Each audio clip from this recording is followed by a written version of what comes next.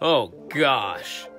This is gonna be bad. oh, the bomb. Oh, look how big this is. Oh no. All right, I'm gonna be honest. I am really afraid of this video. We're gonna try Don Miguel's Bean Bomb Burrito. Now, for size comparison, let me just tell you, this is a normal burrito.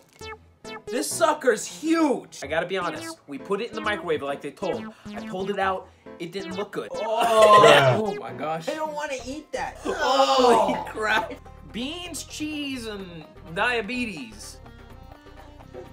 Just look at the insides, though. The insides do not look appetite. And he's going. No, Dylan.